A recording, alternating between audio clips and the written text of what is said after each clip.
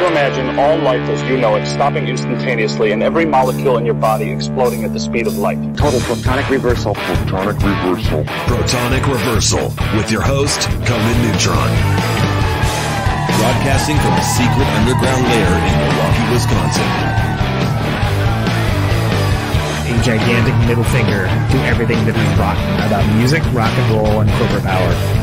The thing is, though, if you don't laugh, you're going to go on a killing spree with sharpened nails.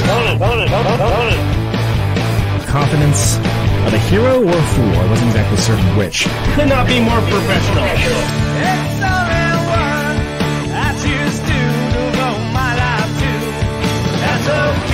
It means something. It means something.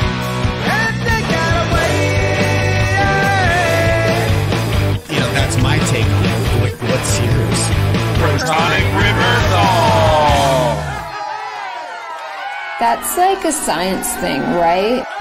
Indeed, indeed, indeed it is. It is a science thing, as a science place. Tis a scientific fact that we're all up in your face. It is time once again for the one, the only protonic reversal. Welcome to it, welcome to it, and additionally, welcome to it. So there you go. Uh, another. We're, we're, we're this is one of the last episodes before the final push towards ten years. That's like wait, that's like celebrating the penultimate event of something. Doesn't make any sense at all. But uh, 10 years coming up next month, I guess is what I'm saying. Uh, in less than, I think it's 29 days, if I remember correctly. Uh, fantastic, fantastic, fantastic. Still be bringing you these wonderful shows, or hopefully wonderful. We'll see how it goes. Night's young. Uh, and these discussions that, you know, I hear that people get so much out of. That's good. I get a bunch out of them too. Tonight, Ralph Spight. I'm super excited to talk to this guy. Uh, I've known him since or I've known his work since the days of uh, Victim Family, the first time around, really, and uh, as well as the Freak Accident. There's a character limit in these titles, so I couldn't type out all of Jello Biafra and the Guantanamo School of Medicine. Uh, this is, of course, as someone who plays in a band called Conan Neutron: The Secret Friends, this is a familiar complaint. Anytime you got a sentence long band name, it's just, it doesn't match our times. But uh, an amazing player, uh, Bay Area fixture for people that only joined up with the show in recent years. I don't always talk about it. I am a uh, 22 year old, 22 year old. I wish, Jesus, 22 year Bay Area resident, and uh, from Oakland, and I got to see a lot of fantastic bands back when it was still marginally affordable uh, to be an artist, which is now really no longer the case. So, as one of the guys who's uh, still out there and doing it, and doing it well, I'm very excited to talk to this man, and it's it's uh, something I've been meaning to have happen for a while, and it happened in a very funny manner. Uh, we'll get to that in a second. But before we do that, before we do anything other than the three minutes of just me talking, welcome to Conan Neutron's Protonic Reversal. I'm your host, Conan Neutron. I'm a rock and roll lifer that's been touring and recording for 24 years, most known for the band Conan Neutron and the Secret Friends. Music is a huge part of my life, and I use the format of this very long running podcast to talk about music with musicians whose work I enjoy and respect, but who may not be household names. This is episode 379. Now, if this is your first time listening to the show, archives of it are available for free. No ads, no sponsors, no kidding, at protonicreversal.com. However, if you want to support the show and get episodes sooner, $1 a month at patreon.com slash protonicreversal will achieve that goal, and it also helps support the show. And if you like the show or even just a single episode, please feel free to like, subscribe on your platform of choice, share it around on the old internet, and even leave a review. All that helps people discover the show. It beats back the almighty algorithmic overlords, and it's a darn nice thing to do, really. So there you go. Ralph Spight, uh, freak accident, victim's family, Jello Biafra, Guantanamo School of Medicine. Awesome new split with Nasalrod. Busy dude, busy dude. One of one of the uh, one, one of the great weirdo guitar players, and I say that with peace and love in my heart. Ralph Spight, welcome to the uh, welcome to the show, man. Thanks, Conan. Yeah, I'd say it's like you and Muraski, uh, as far as like people I think of as like Bay Area folks, like of just like the great like wow, what are they doing? What are they up to? Right, super outside. Yeah, I just saw Steel Pole Bathtub play again. That was so great. I I got to see them in Houston due to the largesse and generosity of a fan of this show, but I did not get to see them in San Francisco, and it kind of broke my heart a little bit. So like every once in a while there'd be a thing that happens, and it's like, oh, that would have been cool to be able to go to that. Yeah, it sounds like they're going to do more stuff. So I think it's a. I don't it's think, pretty you'll have fair to. Be heartbroken for long. I did get to see him in, in the the Houston thing, and that was awesome. I mean, Yeah. that was that was like uh, I, I did not think that was going to be a thing I got to do, and like I had the had the rare experience of being like, wait a sec, I'm not playing, I'm not driving, and I'm sitting here with Billy Gould and his Rakia. Let's see. You can fill in the, you can fill in the blanks, everybody. That's all I'm saying. That's all I'm saying. Uh, and it was a lov- it was a lovely time, and uh, it was great. But I still I still missed out. Um, there be, there would have been something special seeing them in the Bay Area again. That's all. But it was also special seeing you in the Bay Area, just as a dude, and remembering that I wanted to have, have you on this show for like I don't know eight years, nine years, however long I've been doing it. yeah, yeah. Well, I'm sorry I couldn't make it in time to see your set because I got caught up at this work dinner. Yeah. And I, I told you the story about walking in and it's like, yeah, thank you. It was totally. we were doing. I, I think I, did I tell you that we actually called that the steel pole bathtub ending. Oh, you did. Which, there's a couple like ways in the set, but that was definitely the big noise out, kind of. I made shaking the guitars, making noises that probably shouldn't, you know, like that. Yeah. that, that kind of yeah, stuff. no, I walked in. I was like, wow, this is great. And then it was just over. Ah, oh, it's so succinct. it's great. It's, it's- oh wow, it's, it's oh, it's like didn't expect that.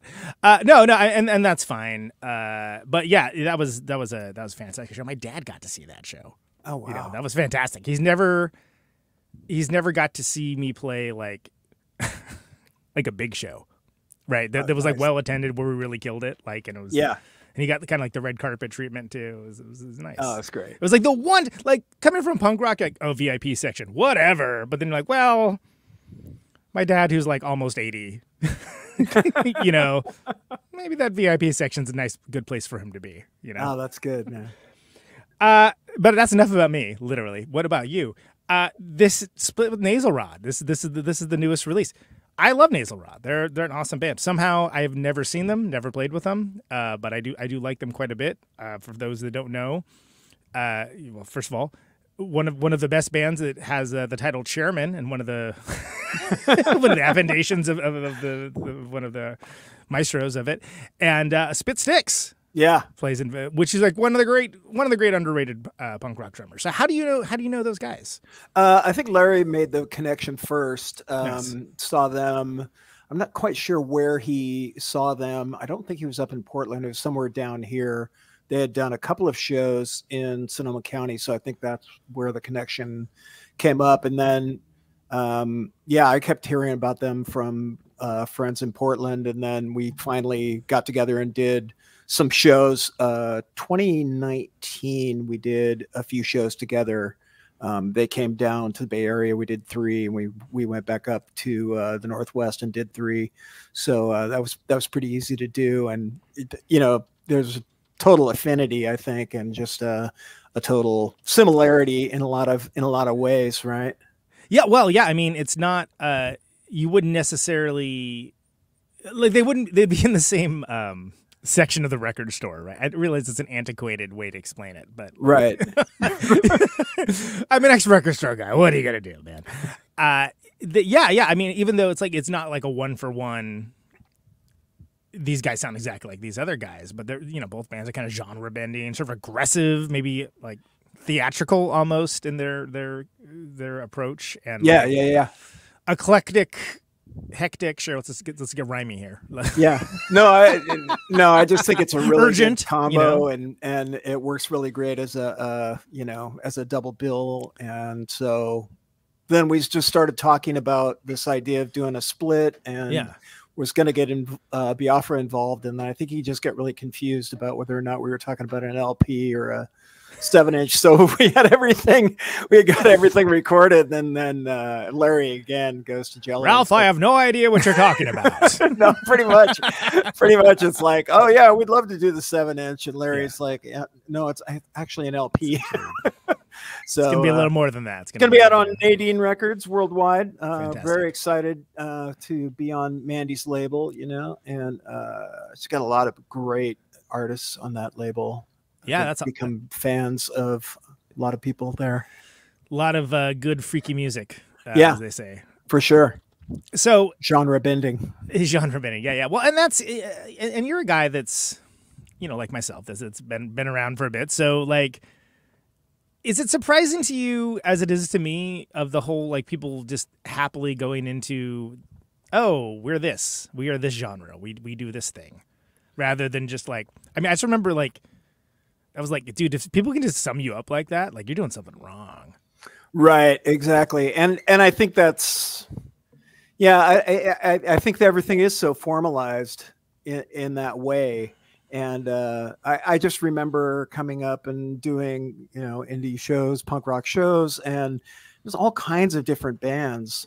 Yeah. Like you know, we used to tour with like tragic mulatto and like Yeah, like yeah, like yeah. you know just uh, like uh, all kinds of different stuff all the time How do you explain touched by a janitor, right? right right you don't so i mean uh yeah and i just think as times have gone on things have become more and more formalized and people Yeah. are taking fewer and fewer chances you know um so I, i'm actually really uh glad about it seems like there's a lot of you know podcasts and books and things sort of uh documenting that kind of era in uh in in punk rock and like um, kind of reminding people that it was sort of no holds barred. You could sort of do whatever you wanted, um, and uh, like anything kind of kind of goes, you Right. know? And uh, and I think that that's true. Like you can still find audiences. You come in to a place and you're doing something a little bit unconventional, and I think uh, you know people can still identify with it um, within the movement. You know, is what likes to call it. You know, but it's Right. He does. You know yes, I he does. right. So it's sort of like, I mean, I think, you know, when people are sort of thinking independently about it, there's a lot of room for people to experiment musically and sort of like be under the, uh, under the thing. But then it's sort of, you know, under the umbrella. But, you know, I'm not really, I'm only really interested in genres in terms of, I guess, yeah, like you said, bending them or using them, Right. you know, not to get all Frank Zappa on it, but he, he did, I No, mean, it's a good he had the- example. I no, mean- actually, he had a really good, uh, like, sort of theory about like uh, using genres as sort of stock modules, right? Sure. know, yeah, like- yeah, yeah. Like, you know, here's the, and, uh, and he would talk about having those like, you know, hand signals that he have, like, you know, Right. like twisting a dreadlock, you know, so play, play reggae. right. exactly. Yeah, yeah. All Right. these like inscrutable movements. that was James Brown would mean you're getting fined. With Zappa, Yeah. you're changing genre. Yeah. yeah. exactly. So, I mean, I- just think that uh, you can do that within the context, and so I think my my older work was more sort of cut and paste in that way, or Mhm, sort of mhm. like let's let's tack this onto that, you know. And now I'm sort of like I think that's one of the distinctions between sort of like the victim's family stuff and the freak accident freak stuff. accident. You know what I mean? It's like uh, it, within the freak accidents, more like a kind of trying to cre- create like a certain genre environment within a song, like create a mood kind of thing, versus victim's family is more sort of like still a little bit more cut and paste that way. Yeah, yeah. I mean, not in a bad way. Like with sort of like you know, think about like collage art or something along those Yeah, lines, yeah. right? No, I mean, I think the first album was very much that way, and I think it's like gotten a little bit more where we uh where things there's transitions a little bit more that are a little bit more. Yeah, so I think that Better. it's well, it's interesting that you have the wherewithal to sort of look at that inwardly because I remember when I very first moved up to the Bay Area, like the one of the first bands like like oh you got to check out Victims Family. I'm like oh okay, what do they sound like? It's crazy. I'm that's it. It's just it's crazy. Okay, like like uh, do you have any? No, no, it's nuts. You got to see them. Oh, okay, but like Victims Family was a band that like literally defied description because people were unable to describe it. Uh, and, and then, of course, when I did see it, I was like, "Wow, they're right. It was crazy." Like, like you know, like in a good way, but in a way that very much appealed to me because I was operating from like a, a similar, especially at the time, a similar mindset, Right. and it seemed like a window into something that was sort of like I didn't. Nobody realized there was, there was like a death clock going, right? But then the, the idea of like the Bay Area being like what it was versus like what it kind of turned into, which is just like okay, this is like after a war and who's left doing it still Right. Uh, it, it's it seemed like a real breath of fresh air, and the fact that it you know it's hard to sum up. There's proggy elements to it. It's pretty aggressive, but it's not. Doesn't really sound like King Crimson, you know, like it doesn't really sound like uh, much anything. I mean, I think it makes sense that I think both times I had John Wright on the show, like, and obviously you have some working relationship with him. Guy from No Means No gave you a shout out, right? And it's like, of course he would, because that's a game recognized game moment. Like, how how do you sum up No Means No? It's, oh, it's crazy. You got to see him. Right, right. And I think it kind of goes back to your initial thing, which is like uh, your initial point, which was, I mean, uh, I think once you kind of figure out what you are doing, um, then it's then you're just sort of your yourself. Like I, I think that's that's the thing in independent music is that you know just this idea that you you know you should really be yourself like i i go out online and i'm in all these weird you know, see people posting on threads and Reddit and all these things. all Like, the what do, various things, what, yeah. what do I do? You know, how do I like better my career? It's just like, God, just fucking be yourself, you know? Like, Isn't that crazy to think about? That like it's it, it's it's like it's the most valuable advice, right? And it's the thing that like people just don't know what to do with it when you give it to them. It's like no, Yeah. find out what makes you you. yeah, Dig deeper into it, right. and like go harder with whatever it is you're doing. Yeah, it's like that thing about uh, the Minutemen, right? Where it's like uh, they tried to make the weirdest record they could when they made Double Nickels on the Dime. It's the best-selling record they ever made, and then when they tried to make something commercial, like it sort of Like people are like, flopped. oh yeah, big deal. yeah, I mean, like, isn't it, it? Isn't that just? It's so crazy. Like, it's so crazy that, like, and again, I almost wish to a certain degree that so- someone had mentioned that to me like earlier on, you know. But I think I figured it out like pretty early on. Like, okay, all the people that I really like, all these idiosyncratic players, these iconoclasts, yeah, you know, they, they like usually didn't either have the, the um, emotional acumen to care or the interest in caring about what anyone else thought about them. They were just going to do what they did, and there's some truth to that. Yeah, yeah. I mean, uh, uh, you know, by the same token, I think it's, uh, I, think limits are really good. Like if you're trying to write, you know, I had this high school band or band right after high school, and we had like, uh, we had some show that got booked and no songs, and I think we sat down and wrote like, you know, twelve rockabilly songs like in a week, and and and you know As it's you like do. some of them were were pretty good. I mean that that band was really funny because like we ended up having like three hours of material and just would play all of it you know? Yeah. but uh covers and and everything. But i think you know limits are kind of good. Like if you're okay i can you know i'm just in this mindset i'm going to be this for a while you know or you know if you've already got a lyrical idea then you can just like take off on it it's yeah, yeah, sort of- you, you build a box for yourself almost, and then you fill that box up with something cool. hopefully. yeah You yeah know, well that- So I mean, I see why people do it, right? You know. Yeah. Um, but I don't know. Can't pretend to be in other people's heads about how they're creating their music. that way lies madness. Uh, t- tell me, so let's let's go let's go all the way back with Victim's family. It was like 84 or so, right? Yeah, Is- is- 84. uh, how's it all come together? Because Uh, yeah. So the band I was talking about, which ended up being called Idiot Savants, uh, but was you know had a few names before that. sure Um, they all did, didn't they? I mean, right. Exactly. so yeah, I uh, that started right around the end of high school with a couple of friends, but like one friend that I went to high school with, and somebody else he knew from another, and then uh, um, so a few friends, and we started playing a bunch of shows around. And I had started. How did it happen? I started going to Santa Rosa Junior College. I uh, graduated from Sonoma High, and I started going to college in uh, Santa Rosa, JC. And there was a record store, and then the high school was across the street, and then the JC was right there. It's like all within, you know, like on the same block essentially. sure. So the the JC always had uh, shows, you know, bands playing at lunch, and so all the kids would come over from the high school, the ones who were cutting school, and uh, and so Larry and Gino uh, from Larry had this band, the Skirt Boys, and uh, and we started playing all these shows together. And then uh, our drummer Devin was in this uh, kind of I don't know how you would call it, sort of uh, sort of Bauhaus esque Mm. kind of kind of thing.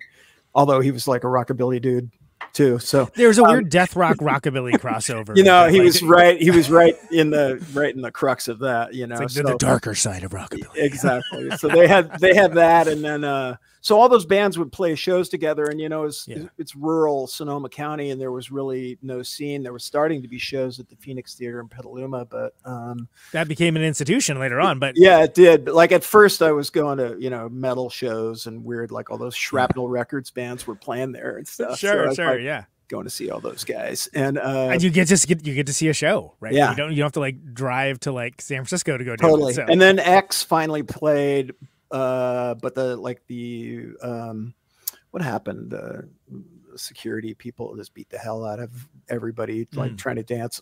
Anyway, so after a while, like it sort of became like there was actual punk shows there. We were playing all these weird um, parties and you know like anyway so all the bands broke up at the same time and uh and larry and i decided we were gonna start you know playing together. And so it all came together really fast. I think um i think larry and i started jamming in the summer of 84 and i think we played our first show in november at at my house.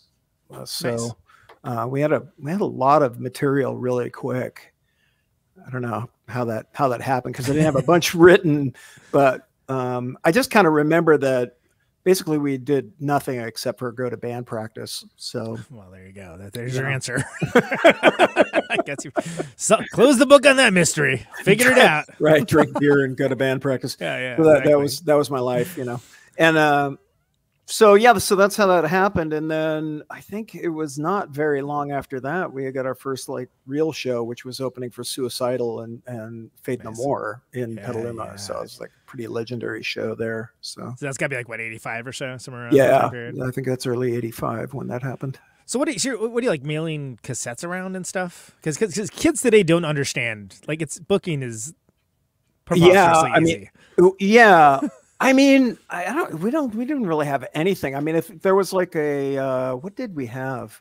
Put a jam box on stage when you play. No, we did have a four track demo and Okay. yeah, there were some cassettes that were going around, but like everything was just really word of mouth. And then um it seems crazy, but we didn't have anything out. I mean, we did send some cassettes out and we did we did a tour in um we went out to Texas and back nice. and played uh like we did a bunch of weird crazy shows um Which at the time Texas kind of happening. I mean, there was there's Yeah. you know butthole surfers. There was like uh, uh, big boys and uh, yeah yeah no we played we played with scratch acid in dallas like the like on the on the first tour you know just I had a homemade scratch crazy acid and, yeah uh, t-shirt. in play with NOFX like in front of like six people you know right.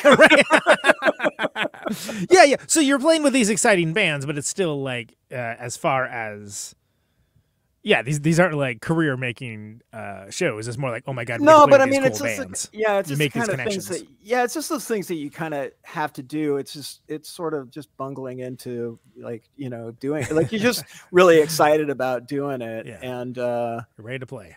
yeah we just you know we had no record i think we were selling acid instead of t-shirts you know, I mean, it's like Fantastic. it's more profitable i think I mean, it's a it's a model that's been proven to be successful over the years. Absolutely. yeah yeah yeah anyway uh, What's the statute of limitations anyway?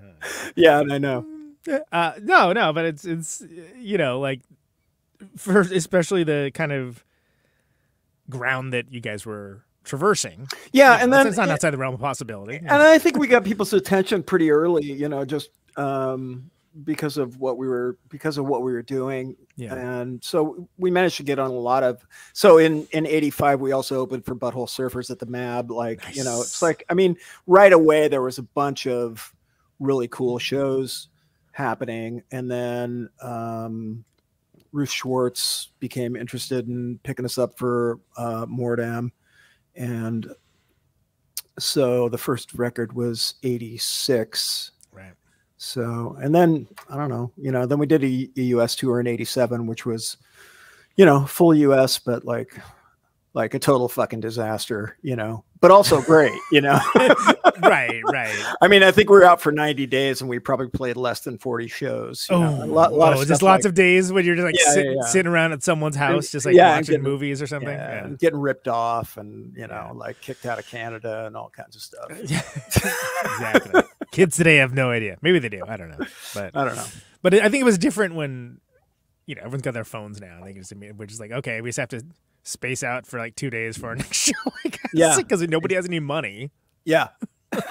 Just sitting around the stranger's house. I guess I can Yeah. go for a walk. I don't know. Yeah.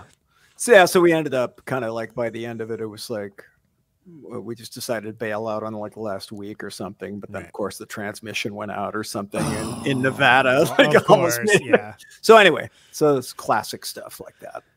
Uh, so, so when do you when do you like start doing stuff with Primus? Is that like a little after that?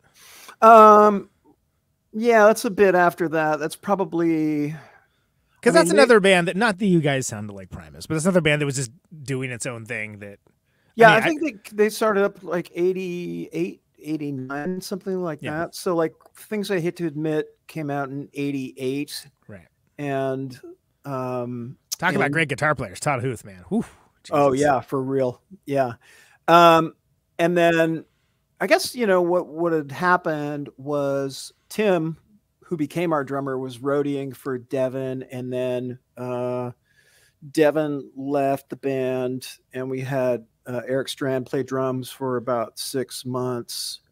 And Tim also started roadieing for Primus, like right around the time we sort of became that they, you know, became aware of them as Sure. a thing. So then we That's the North playing- Bay. North Bay is not that big. For people that are not from California, what we're talking about is what's known as the North Bay, which is the other side of the Golden Gate Bridge, which usually is a non-factor geographically, Right. not as much as movies would have you believe. Yeah. But it's a small scene that's close to a much bigger scene, but not close enough. Basically, yeah. Yeah. Yeah. Which, which is actually great. Was, was it, allows it to have its own kinda- yeah. identity, right? Its own, yeah, absolutely. Sorry but we were also you know call you know close enough to it all. Uh anyway so they they started playing and it just kind of seemed natural and then that whole thrash funk thing we sort of we sort of vaguely you know fit in with it. Yeah, you kind of wandered into stuff. it, and you, they didn't explicitly throw you out, so it's like, all right, yeah. No, it's So- it's it's impossible to overstate how much of a thing that was until it wasn't, and then it just suddenly wasn't, and it was like, oh, what are we doing now? Where'd that go? Where'd that go? It's, and then it was like for a minute, it was like, it's swing? No, really? It- no, come on. For real?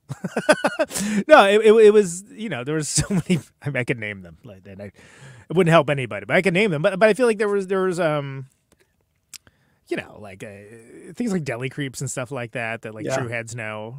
yeah You know, who would imagine Buckethead would end up playing with freaking Guns N' Roses? It's like, that's another one. Like, ah, that's funny. I'm like, what? No, oh, really? That's actually happening? Buckethead is he? Is he? He's not as Buckethead. Okay, all right. yeah Didn't have Trump winning the election either, so I don't know. Weird, weird moments in, in history. Uh, yeah. So okay, so you got th- so that's got to be around. Um, so between things I hate to admit and White Bread Blues, right? That that's like around that area. Of yeah exactly yeah so like right right when our drummer left and then so then tim became our drummer um after sort of in the middle of our first european tour he was kind of roadieing for eric but then he was jumping on and playing like a couple of songs you know Sure. and then at the end of the then it seemed just kind of more obvious that his stylistically it was like a little bit closer to what devin was doing so uh so we ended up with that and then white bread blues is uh 1990 Yeah, yeah, yeah. So, and that's that's an interesting time.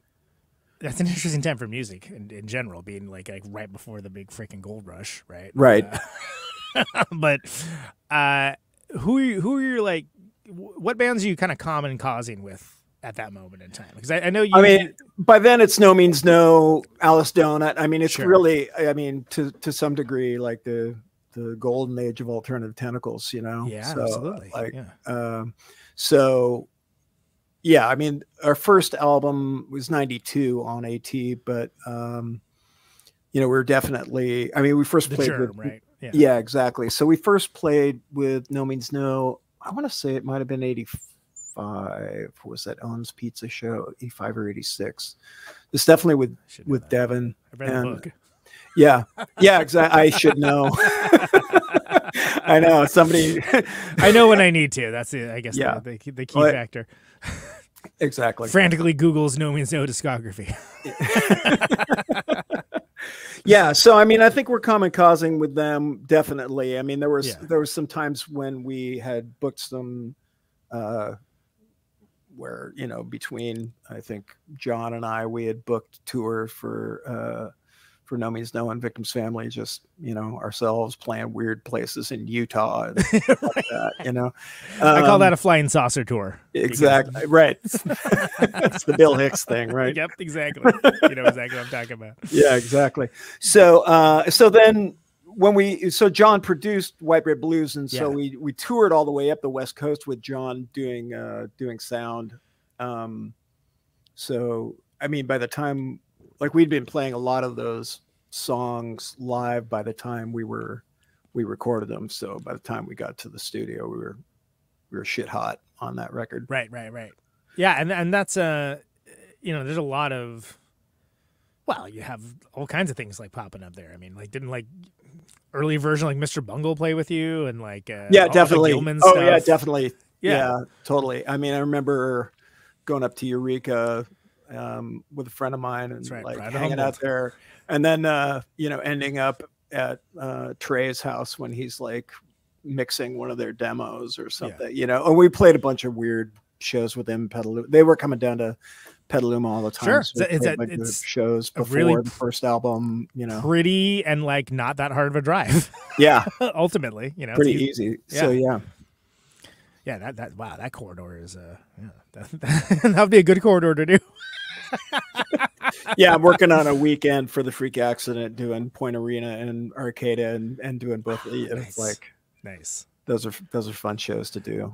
Yeah. Point Arena and get like 400 people who have no idea who you are. It's- Yeah, They're so- there's like, hey, we're we're gonna see live music now, guys. Oh, okay, you sure are. They're totally into it, man. Yeah. Great. It's well, a thing I like about yeah that whole upper coastal scene is like it's so off the regular tour itinerary for most bands that like they don't take it for granted as Yeah. much. Yeah.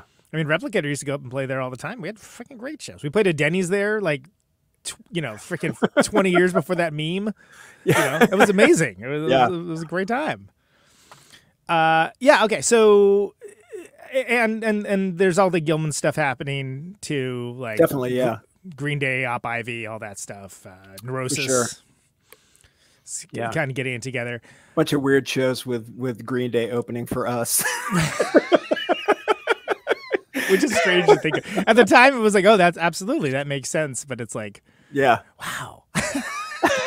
That's so odd. Where were they, where were they uh what's it um God damn it. What it was, it was like a, uh, uh where, where, it was like right before uh the bridge. I can't god damn it, I can't think of it.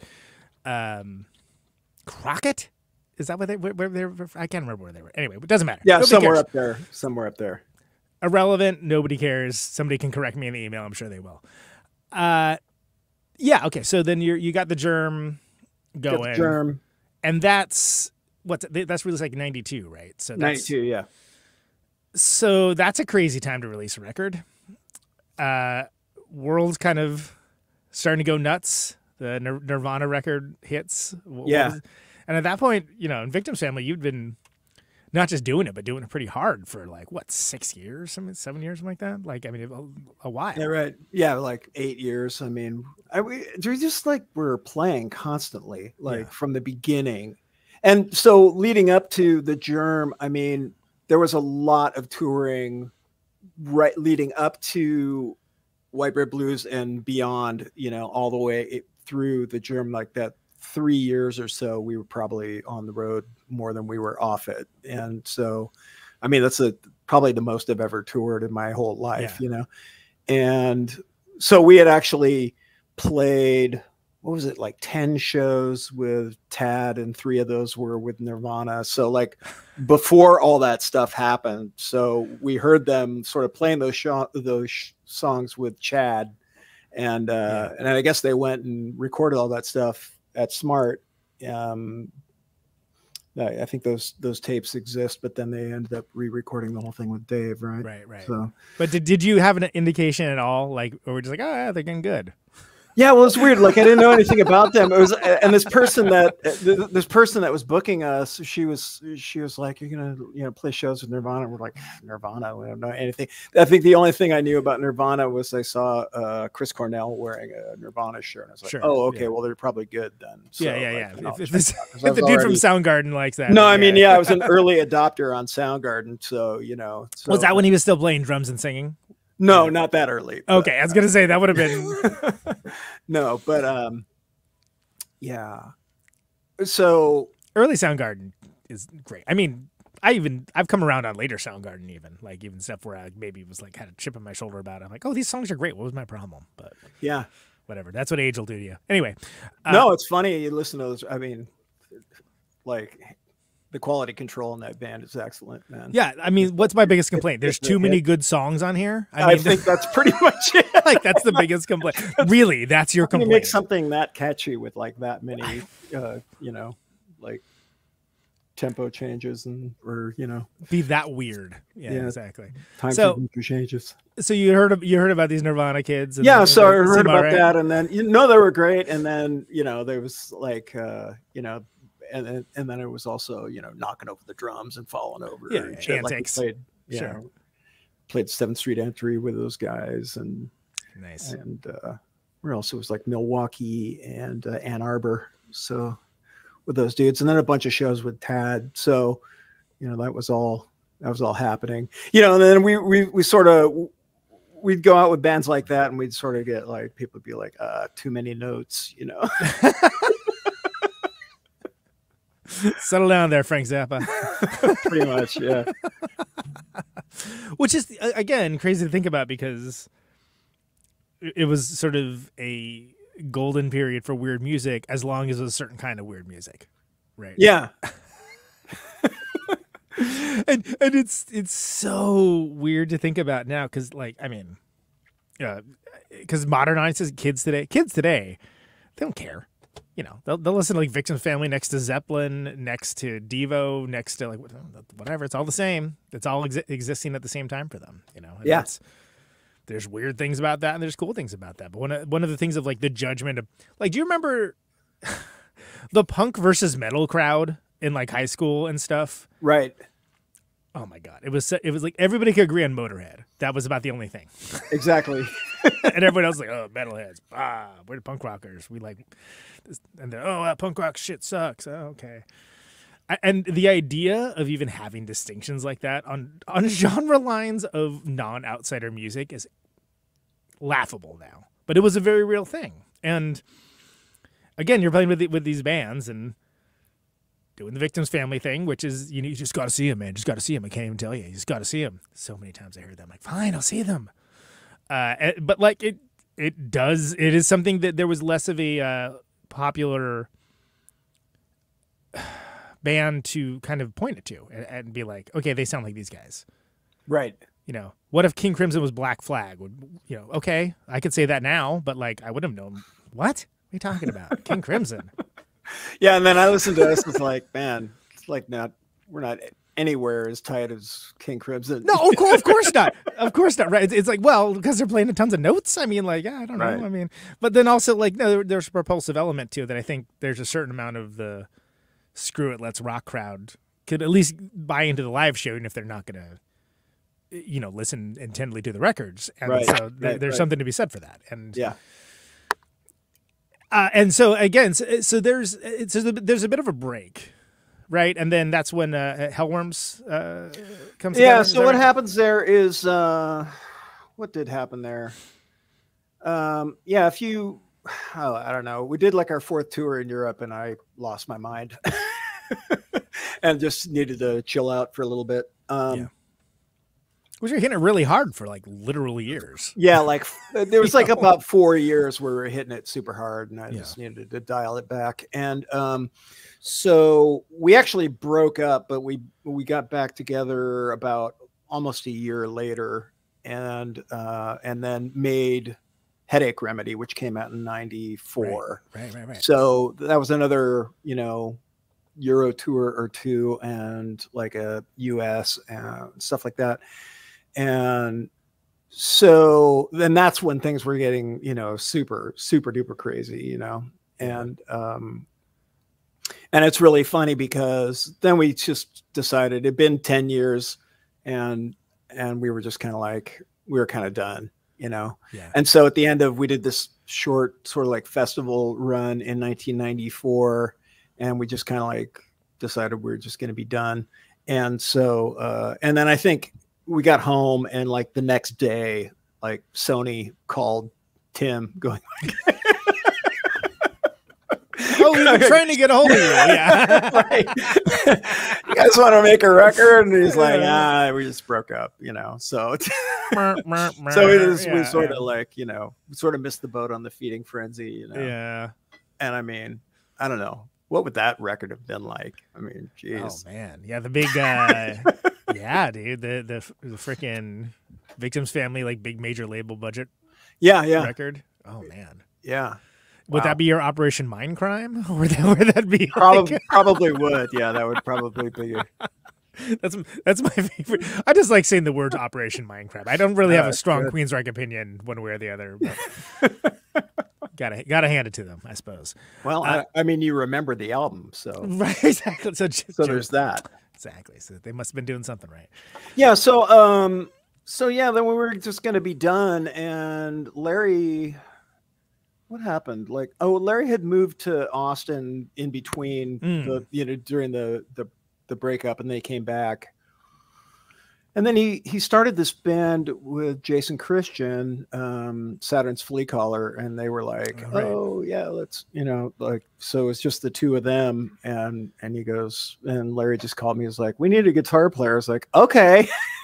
so Larry's playing drums in this one, Right. and um, and Jason Jason's great uh, writer, man, great songwriter, like really interesting bass player, just like uh, just the way that like, our, our stuff was really comical and unserious, and it, was really a good break from Victims Family. I listen back to those records now. I'm like, God, they're fucking kind of genius. This Yeah. Saturn's Flea Collar record. But when we were making it, I was just like, man, this is like, what are we doing here?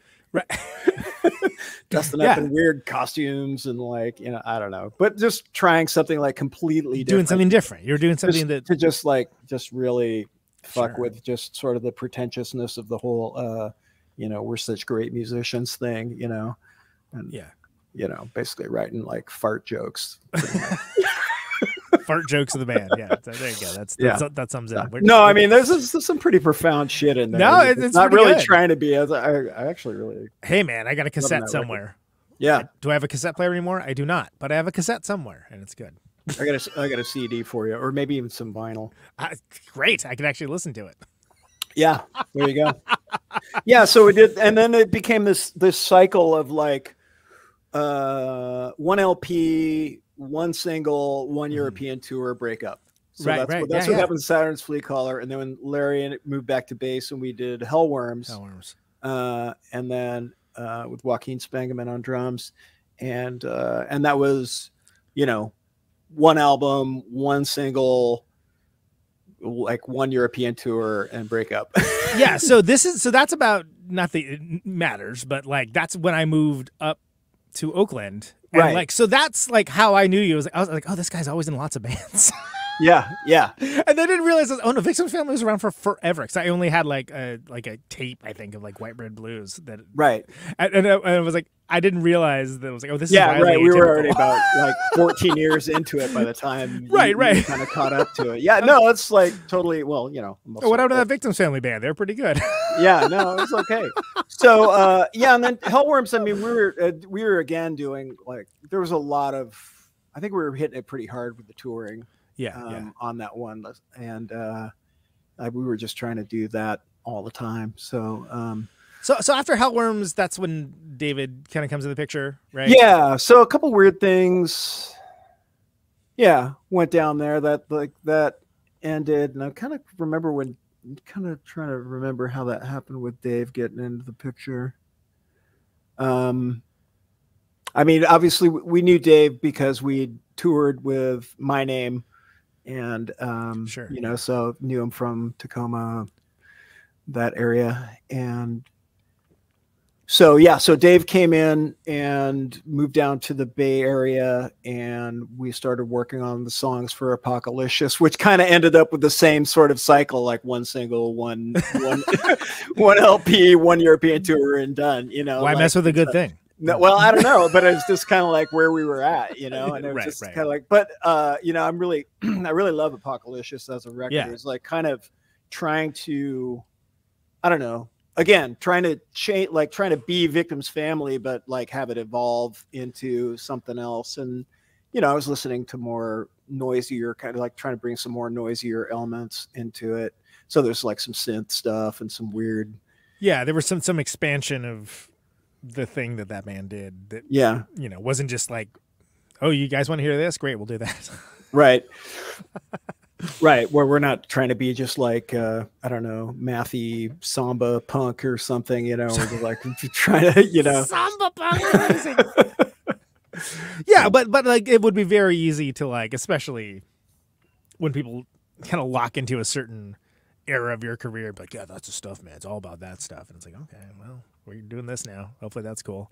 yeah no i like that when a band like just sort of you know I don't know, brings you along for the ride. You know, Mhm. I mean, I You're think there's either. along, I mean. I think there's. I, I think there's really some something really cool to being like, you know, the Ramones or ACDC or something. You find Sure. the formula and you just do it. Like Just that's do it to you. That's your thing. You do it. Like that's awesome. I, I love that shit. You know what I mean? But there's also things like Nick Cave and the Bad Seeds, right? I mean, I love Nick Cave and the Bad Seeds, and Right. there's entire swaths of, of the career of that band. I'm like, you couldn't pay me to listen to it. Yeah. But like some of the records are like some of the best rock records ever. Right and then there's I- some there's some love. great rock stuff and then there's some stuff that's just great like you know just songwriting stuff yeah, and, just you know, strong, you know, and just being just kind of fearless about whatever it is you're going to do whatever, you know? whatever the thing is you're doing now is the thing that you're doing now. And, and I think that there's a lot of, you know, Bowie got got to do it.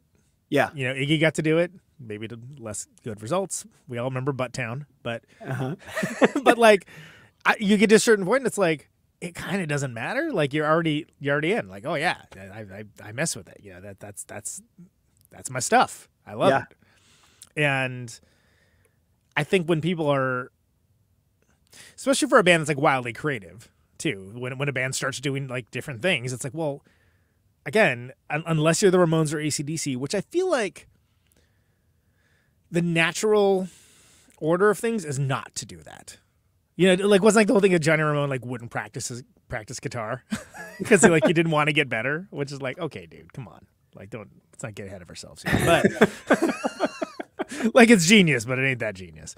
Uh, but like you know, all right, sure, and and you know, th- there's there's a lot of ACDC records that are not Powerage or Highway to Hell or Back in Black too, and, and it's fine.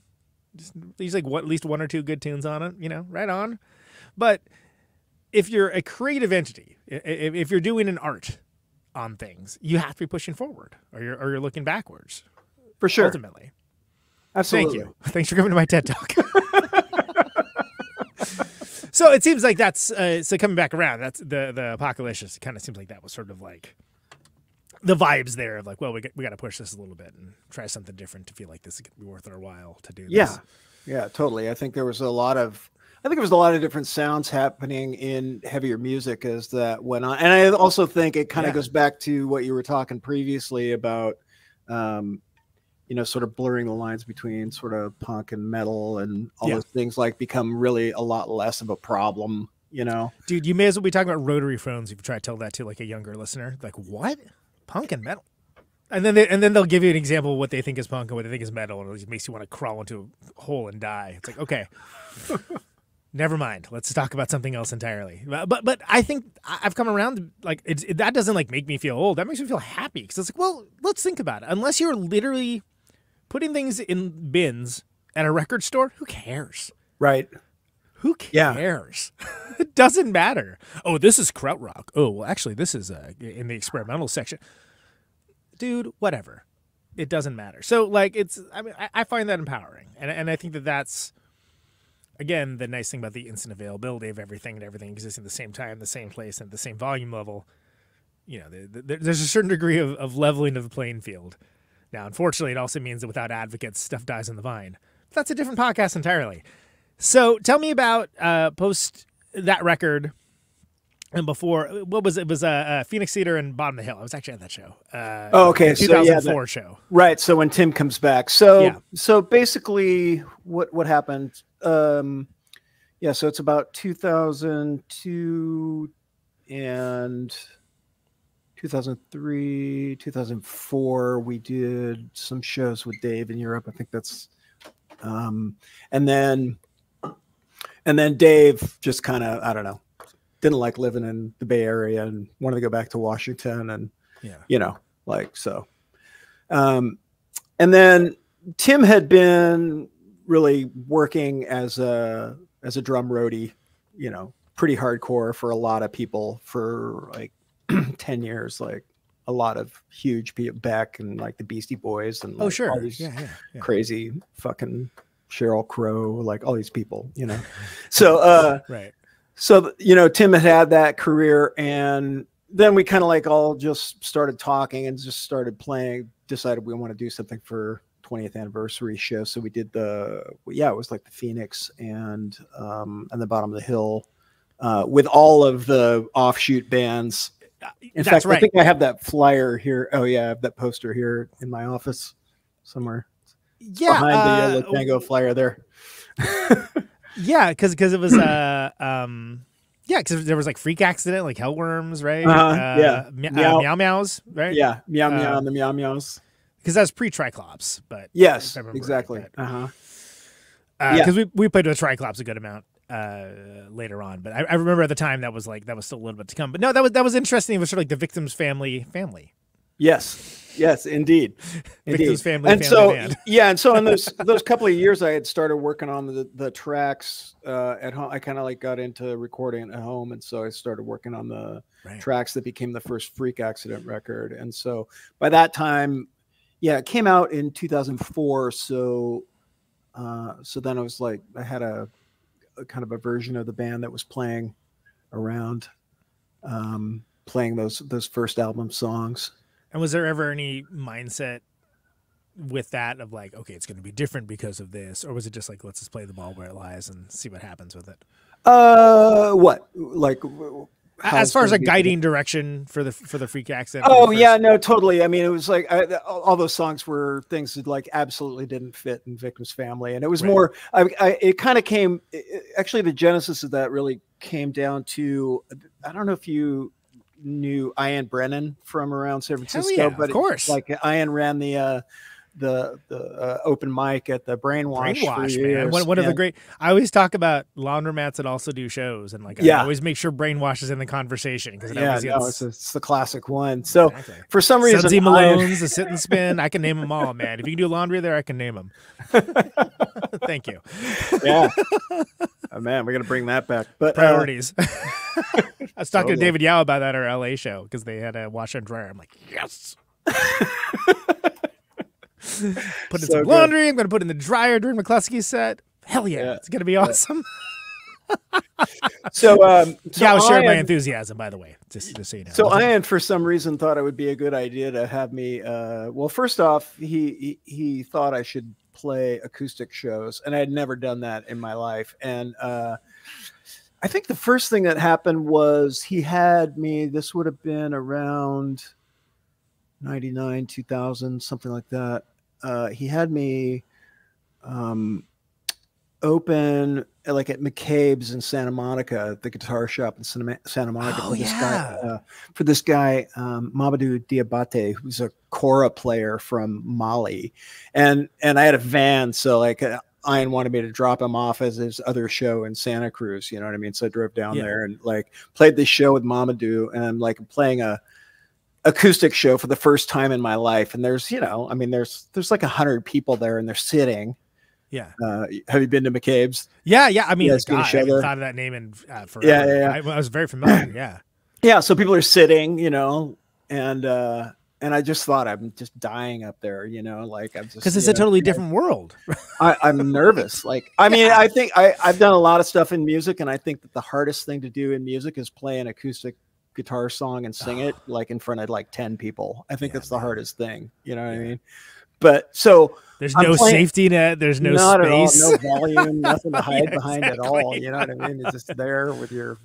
I'm just there with my voice. Just there, let it all hang out, so to speak. Yeah. So, you know, I'm sitting there and I thought I'm just dying there. And it occurs to me in the middle of this show that it's like, oh my God, like what's wrong with these people? And, and it finally occurs to me, it's like they're listening. Right. Oh my God. Totally. Yeah. ever been at a show where people are actually listening to your Instead music? of like rocking out Yeah. or like, you know, So then- headbanging or whatever. yeah, so then Ian put me on this tour with a bunch of songwriters um, from the West Coast, including uh, like Bob Forrest was one guy, and then oh, uh, sure. Rico Rico from the Mekons, Rico Bell from the Mekons was on that, and a few other Bay Area people, and we did this like RV tour up around like Boston and like played about like 10 shows at these weird like pubs and like cafes and stuff and then ended up at this um at this like farmhouse like out in western mass like Oh, wow. and just had this whole like i mean like a couple of weeks of just playing all these shows and playing like songwriting stuff and it really got me thinking about uh i don't know more about songwriting right like Yeah, in a yeah. different way and so there was a lot of things i was also um i took some classes at the i have this kind of like off and on love hate thing with jazz and learning jazz Yeah. so it's like kind of been at, at the time when victims family was coming together and i was going to santa rosa jc like we were all going to see black flag but i was i was like studying jazz improvisation at santa rosa jc with this guy bennett friedman so like you know that's that's explains exactly what happened to me you know what i mean Right, right, like- right, right. Exactly. it's like by day I was like learning Mixolydian modes, and by night I was like, you know, trying to untie Henry Rollins' shoelaces. Right. well, and, and Ian was like, he was like one of those guys that was just like a dude that made things happen. Like, remember that thing he did in um, Dolores Park with Fugazi and Oh Sleepy yeah, and man, what a great! and all that. Oh my Yeah. god, what a great show that what an was! amazing that. was that was like a. I forgot that was him. Looking back, like I hate to say it, but like looking back, it's like, oh, that is kind of like you know when Hunter S. Thompson talks about like the wave kind of breaking and going back. It's like that might have been that for San Francisco. Yeah, Unfortunately, I hate to say it. yeah. Uh, uh, no, like two great Fugazi shows in San Francisco. The Oh, other one yeah. being at Fort Mason. Did you see that yeah. one? Oh yeah, yeah, and uh, and uh, um, Maritime Hall too. They played Maritime Hall. Oh, with, see, uh, I didn't see that one. with the Ex. I Oh, and, wow. and and I saw him with the Ex, and I was and Thrones, Oh wow! and and I wasn't in the mood for either one. And luckily, I got to tone with the Ex years later with uh, Shellac, and, and I was like, "Oh God, it's, it's freaking genius! It's amazing." But I was just like, I just I only wa- I wanted to see Fugazi. That's all I wanted to see. Yeah, yeah. So uh so after that whole songwriter tour thing that I, you know, I had a bunch of songs and I was kind of just kind of like thinking in that mindset and that's kind of became the basis of writing the the You're thinking about things a little actor. differently, right? Like you're thinking Yeah. about like songwriting. I mean, and the I think the easiest way to think about it is generally if I'm writing a song for Victim's Family, I usually start on bass. Um, I usually start with with sort of like a bass Yeah. versus drum, sort of you know more kinetic kind of feel. Right. Where with the Freak Accident, I'm either, either starting on like a just a acoustic guitar or a piano or something, you know. So, and that that seems to be a good way to sort of for me to sort of break okay where's the line between these things you know sometimes things go over one line or the other but uh Yeah. but yeah so the, then you know it was really difficult to i don't know sort of decide what the freak accident was going to be i'd been in a couple of bands like larry and i had both done time in plainfield also Plainfield. which oh man, how was that? oh man, it was great. It was great because that was the first time I played with Mike Branham and, and Chemo Ball. And Yeah, okay, uh, sure. So so Chemo, that yeah. that that lineup was Chemo and Mike and Larry and I and then Smelly. And that's that's the um that's the lineup that made "Smear the Queer," the Right, the right. Plainfield record. And uh, no, and I just remember first time just playing with chemo, just being like, like you know, we jammed for like a couple hours, and I was just like packing up my shit, going like, I gotta go home and practice, man. This guy is too good. what a great player, right? I mean, Man, like, he's seriously, amazing. what a He's badass. so amazing. So so Chemo and Mike actually ended up being the Chemo ended up playing bass in the Freak Accidents. So the second album, um, Tissue okay, sure, sure. So is that then- um Tissue Sample. right, right, and, and he's uh, also playing in Griddle, I think, at the, at the time, right? If I remember. Yeah. Griddle. Yeah, uh, Griddle is going full tilt at that time too. Yeah. which also totally amazing band. God, Yeah, they. It's like they put out their their best record right as Jello got going with Guantanamo, which will, you know, we'll we'll get to that. But like it's almost Yeah. like, oh, that's cool, but they just like made their the wall.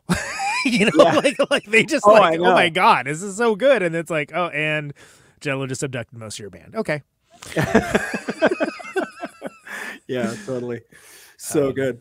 Uh, let's see. So where were we? Like, Uh, oh, so, so 2004. So 2004, family gets back together, and and so Tim is you know really busy doing uh, roadie stuff, and he's touring most of the year. But we're able Right. to do you know from from then until now, like we're able to do probably you know a few shows a year. Usually fit some things of the- in. yeah, you know, Keep it and so adventure-based, yeah. Yeah. but it's it's difficult for us to get together and write. So you know, it takes us eight years to come up with a single,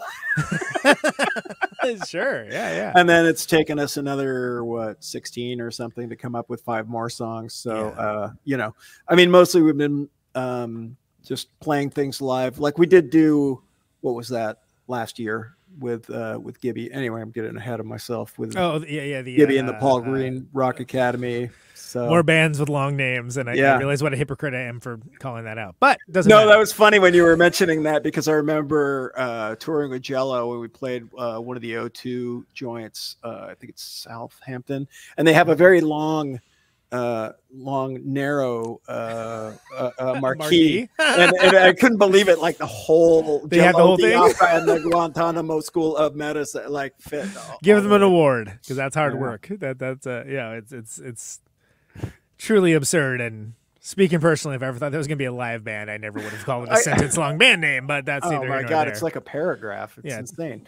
So, uh, so yeah, so Victims Family starts playing, and then yeah, I don't know novella. that, those those those few years there. I don't know, like uh, 2004. yeah. Um, yeah, like I, I I didn't like 2004 to like 2007. There's like not really a, a whole lot going on. Like playing Yeah. shows, trying to get something going with the freak accident, but like eh, not much happens.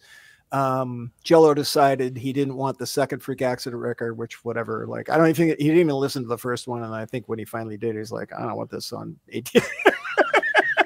it's too pop, you know.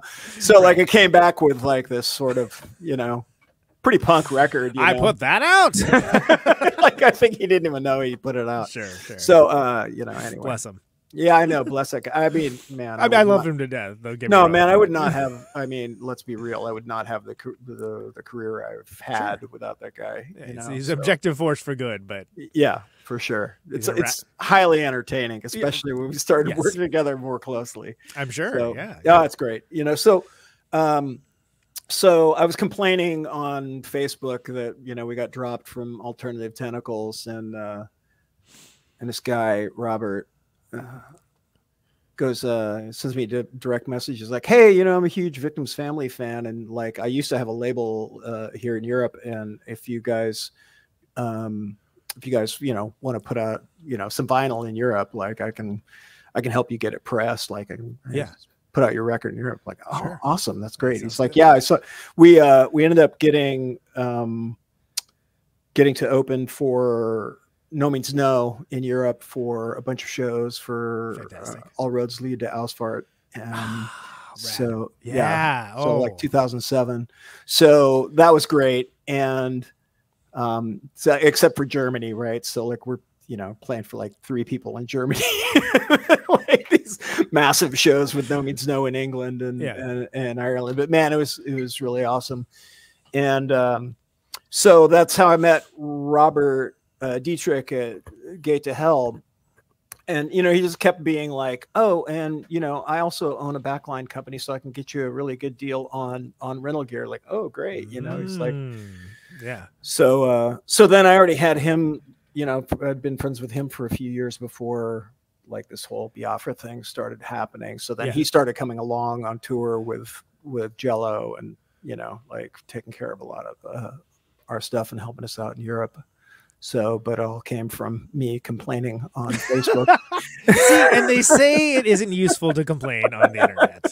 That's what no i mean. I, I usually don't you know a true uh, success story. i mean i've learned not to but it worked that one time so Right, exactly. it's only has to work the one time, man. That's, Yeah. that's- so yeah, after so 2007, and then uh, we recorded. uh, So the Freak Accident recorded um, this record, and then I, I don't know, whatever. I think I was mixing it in my studio, but I had a microwave too close to the to the drive, so I like bricked the hard drive. it was the only co- copy of the uh, EP that, um, and so that that that kind of stayed uh, stayed dormant for a while. yeah, that's, that's a Um, hard one to come back from. Uh, Yeah, it was when we eventually recovered it. Uh, Yeah. A few years later, well, I don't know, ten years later or something. Um, but like around 2008 is when Biafra uh, hit me up. I'd actually jammed with Jello and Bill Gould and John Weiss back in like 1998. He was trying to get something together, and we had all kind of nice. come together before. Um, and so, you know, we all got together again like 10 years later um, because he wanted to do something. It was going to be his 50th birthday in 2008. So he was like, For the big show, the, of course. the big yeah. 5 0. Yeah. So he wanted man. to. Um, so that's where that came from. And Well, the first time, yeah, first time I saw Guantanamo School of Medicine play, I think it was at was it the Covered Wagon? Uh, yeah, exactly. like couples, like maybe second or third show. I mean, Billy was still playing. Yeah, y'all. third show. So was, so what happened was we played the two shows for his birthday in 2000 in 2008 and he Did, did, birthday did- you said the word birthday and balloons appeared. I don't. That's magical. Wow. Oh, Okay, really strange. Uh, so that wasn't me, people. I don't know so what that was. mean a lot when people are listening on audio only. People right? can be like, "What are they talking about?" balloons disappeared, audio listeners. I don't know. I don't know Oh man, too much. Uh, so we played those two shows, and then we were in the practice room for like a year. Yeah, Like yeah. we didn't do anything for like a year except for rehearse Just, just grinding, grinding and just grinding on it. And Kimo came in to play guitar, and um, and then uh, and then we played that show at the Covered Wagon. yeah, which is and great. then Faith No More got back together. So we so we lost Bill. So we made the record. almost- We made the record. Played the yeah. show at the Covered Wagon, and then uh, and then Andrew Weiss joined the band. John's brother. Right? Yeah. So the Andrew Weiss. Right, right. Can't, man. I mean, yeah, it's it's, it's the, the the pedigree of that band is, is pretty fantastic. If, if people can get past, you know, the the novella of a name. I mean, I had right exactly. I had met Andrew before, and I'd actually done some jams with like did some weird art opening jam with him before, like and played like some improvised stuff with him and Yeah. John before. But I never really hung out with him until I was in Guantanamo School of Medicine. Immediately, we just like started touring, and like this is some of like the funniest tour. Those- me- like I Those really, early Rollins band records, man, they yeah. that's the that's the stuff right there. Yeah, I mean, great musician, but just as a human being, and just like the the comedy level on those tours is just like between like Sure. Andrew, Kimo, like Yeah, you got a you got a clever crew there, right? Jello. You know, I mean, it's just like You got an improv comedy troupe that plays music. no, I. I really after after a few years there, I was really wishing that we were doing a reality show for that band because it would have been fucking great, man. yeah, absolutely. We had all yeah, it was a really good one. So uh yeah, had a lot of fun. Andrew has a lot of great stories. He's a good dude, dude. I, I bet he does. I, I've actually I, I've actually been trying to get hold of that dude. I was, I was I think he would be a good dude to have on. Yeah, he would be. But again, as you well know, I have a tendency. I, I work in like epochs of time. Yeah. getting people on the show. It's like I'll get around to like 2030. I don't know. We'll see. Yeah. Uh, okay, so so yeah, Guantanamo School of Medicine is doing his thing. Uh, and then it's it's kind of like oh for the first time in a very long time oh Jello Biafra's got a band again you know? It's Right. like, like it's not just like oh he did a record with No Means No and he did a record with Melvins. It's like no he's actually this is this is his band. He's like Right. making new music. It's crazy. Yeah, no, I mean, it, like, so we went and toured Europe for the first time in 2009, and, and like people were freaking out because he hadn't been over there since, like, I mean, he'd done some shows here and there, but, as a proper tour and there's own hadn't been a tour since like the last DK's tour, like Right. 1986. like generations have risen and fell No, but I mean, they all know him, you know. They Yeah. were like, it's, so it was really funny because you know I would get off, get off whatever the bus or out of the car, or out of the van, and be like, Jello, yeah yeah yeah yeah. Get mistaken for Jello, or I'm like no you know, or like he he wouldn't go to sound check, so I'd I'd be you know sound checking the the main vocal mic and doing my you know trying to sing like him and everything, and then people asking me for Like, autographs, act- squinting and kind of like "Hmm, I didn't know he played guitar. when did he do that? Is this a Fugazi thing? It's, it's like Ian MacKaye. yeah, yeah exactly I didn't know. I didn't know Ian MacKaye played guitar. yeah, yeah, yeah, exactly. We went for the same thing. I like that. Uh, yes, but you're in a situation where all these people who spent a lifetime listening to this music are getting to experience it live for the first time.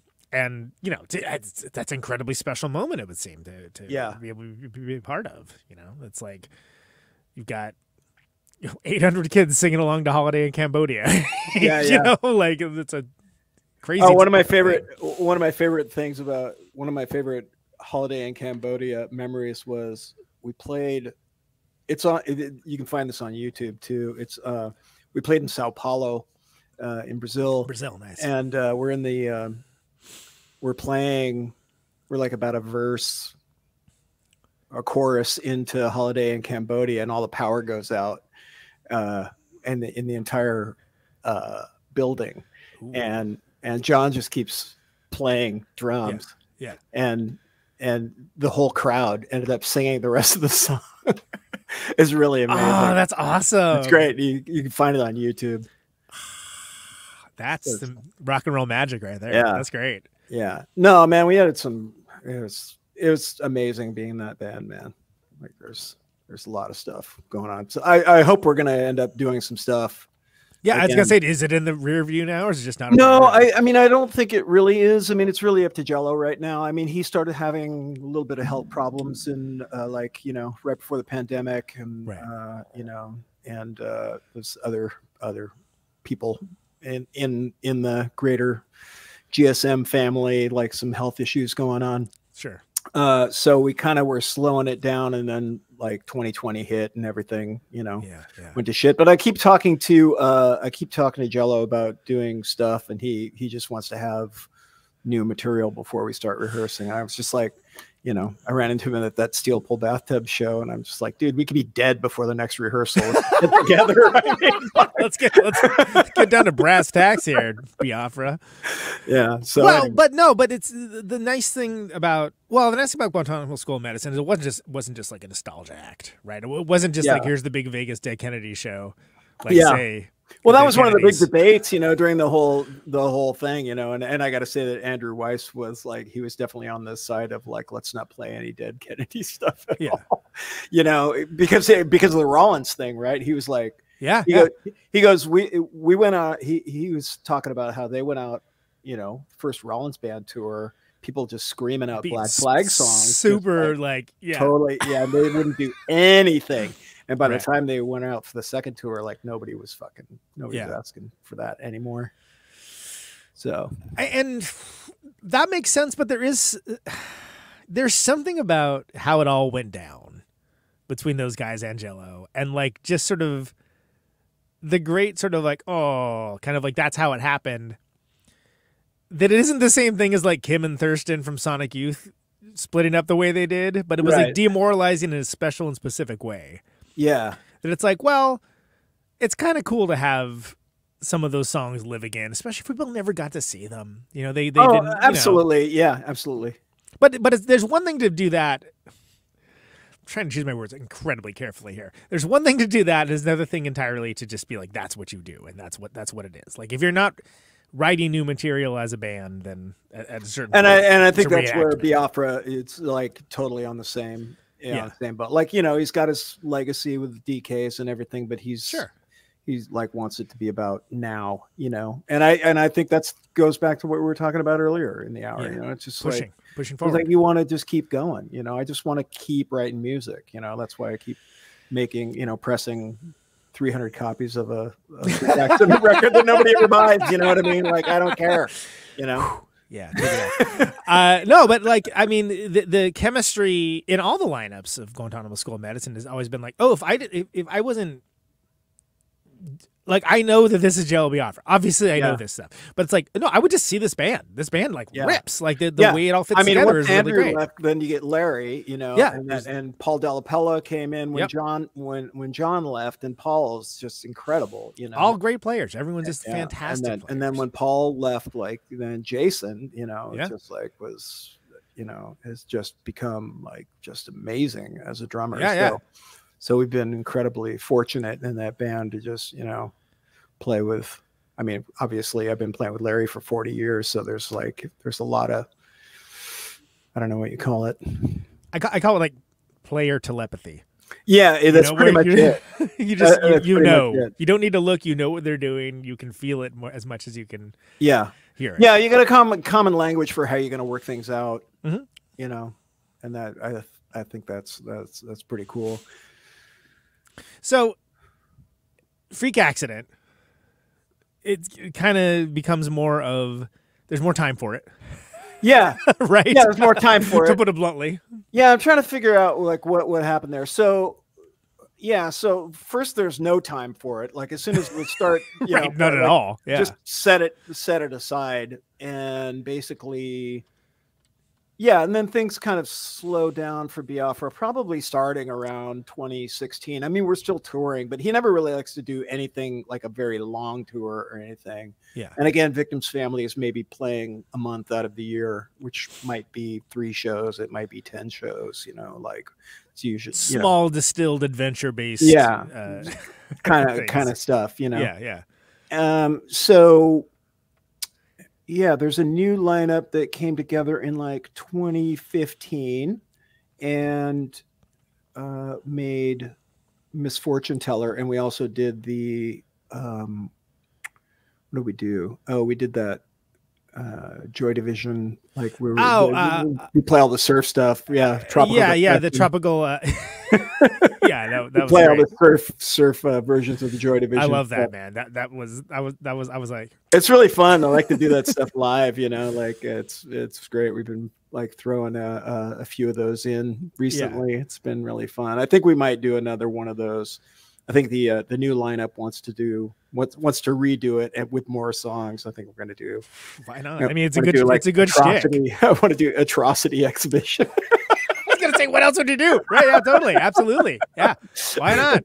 As surf, sure. It- it's it actually really works. It's great. So uh, Oh so no, I mean like, I, like what is it? The first one, like disorder or something. I was, I was like, I'm into this. I'm like so like no, I man, I uh, just getting into like I love Joy Division, but me too. But like they're almost impossible for bands to cover because it's so serious. But I think the thing that I didn't really under comprehend about their music is how melodic it is. super like, you melodic. Think about yeah, you think about his singing; it doesn't really seem that melodic until you try to break it down into like an instrumental part, and then it's like, wow, he's really his, his singing is really very melodic. Yeah. But that's not the first thing that strikes you about it. no, no, not at all. I- And and uh, yeah, like what a great like. It's not if you stop and think about it, what they what they did without him with New Order totally makes sense, right? That's like, oh yeah, you only need to like tweak a couple things, and like this is like the biggest pop you've ever heard, Yeah, basically.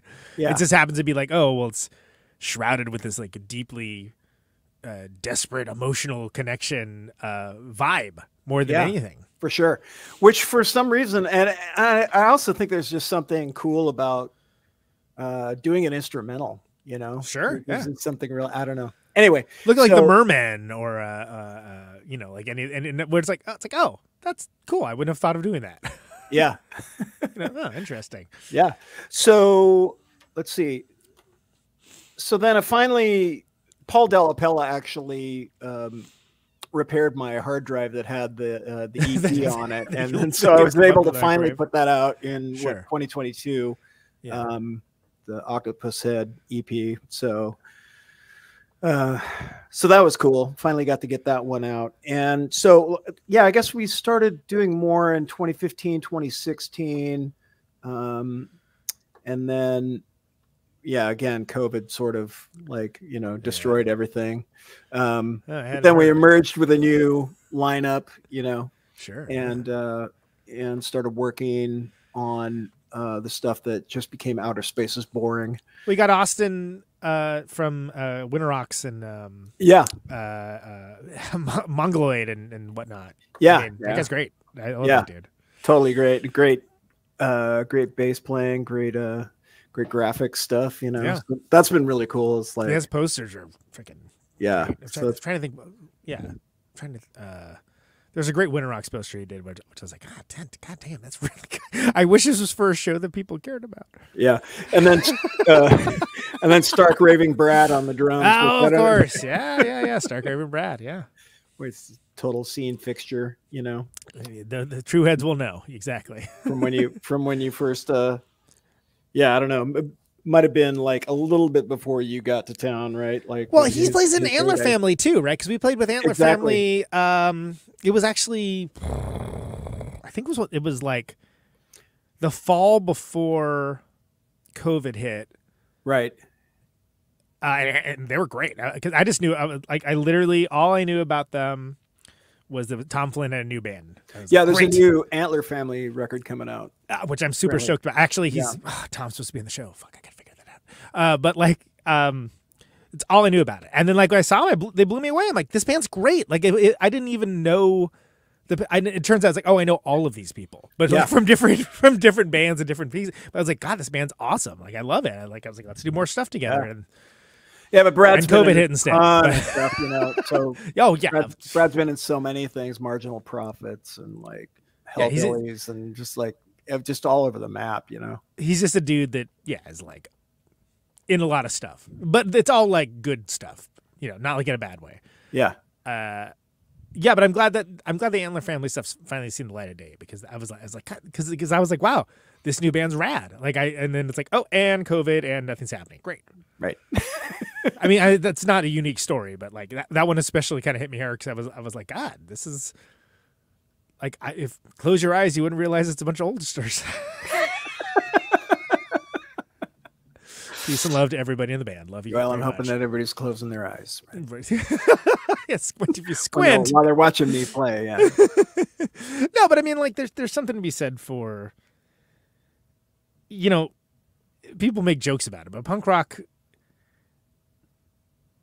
it, it this is the first time people have been allowed to be old and play like that kind of music, you know, yeah. Because the first time it's literally happened, and it's doesn't mean you have to like just do Civil War reenactment reenactments, you know, like it's like you can still be vital. Yeah, totally. That's yeah. It's it's interesting because I've got probably eight. There's eight new songs that the Freak Accident's working on, Oh, and we're playing. We're playing about five of them live already, and uh, there's parts for two more. So I think we're pretty close to having the next record pretty much written, and you know, I I just yeah, I think that's true. There's I mean, where else would you go but forward, right? Like, let's Mhm. just keep doing more new stuff. And like, I don't know, maybe people don't want to see that when you're in your 50s or 60s or whatever, you know, like, but- yeah, but, some people do, you know, like, I mean, um, you know, I'm still discovering bands that like I probably should have known about like 30 years ago, right? You know, and then people are, people are like, right, right. people are playing and it's like wow they're still they're great you It's know like, oh, they've been around like 20 years. You just got on. i mean man that's that, that's the other thing there's just so much good music out there there's like so many people like working really hard playing i think i think it's the reason uh, man i really like your show is like you're just shining a light on people that are just just doing it man Oh, like thanks, we're man. just we're just doing it you know like i mean I think it's important. again well again it doesn't matter like i'm gonna i'm gonna do this anyway like they don't Yeah. like it or like you're too old or like i don't like your clothes or fucking you're not generic enough or like you know i mean whatever you know there's i think it's i think it's really interesting the era that we're in for music right now because it's sort of like the whole diy thing sort of won right like I agree. i mean yeah. you know we- it's um i mean i think it's difficult to navigate and make it survivable and everything It's not a level playing field, to be clear. At all. It- it- no it's not but, but there's but- more opportunity now than there ever has been. Yeah, and I think that, I mean, oh, when I'm on the like I was talking about being on whatever all these like social media platforms and musicians are talking and complaining, you know, hoping Which someone will, which we've hoping someone will put out the record. You yeah, know, we've canonically established that works, so why wouldn't they? Yeah. yeah, I know. Like, I just Kidding. complained about it a lot more. No, I, just sort of like, I mean, it's just. um You have the ability to convince- connect. Let's right? convince them you don't need them. You know, like Yeah. that's I, I think that's always been the been the thing. And then like you know they come beating a path to your door or whatever. It's kind of like Sony calling Right. us like the day after we broke up. Nope. Pass. We broke up. Missed the boat, son.